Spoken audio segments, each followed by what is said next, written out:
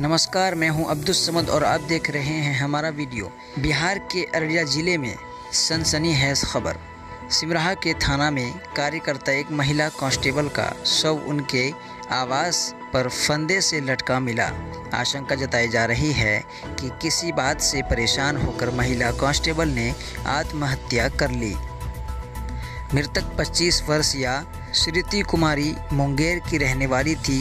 वर्ष 2018 बेच की जवान श्रुति इसी साल 2 फरवरी को सिमराहा थाना में योगदान दिया था। वह शादीशुदा थी, चार वर्ष पहले ही उसकी शादी हुई थी, लेकिन उसे कोई संतान नहीं था। उनका प्राइवेट आवास सिमराहा थाना के पास ही है। इस घटना का खोजताल करने के लिए पुलिस और प्रशासन जाँच में लगी है।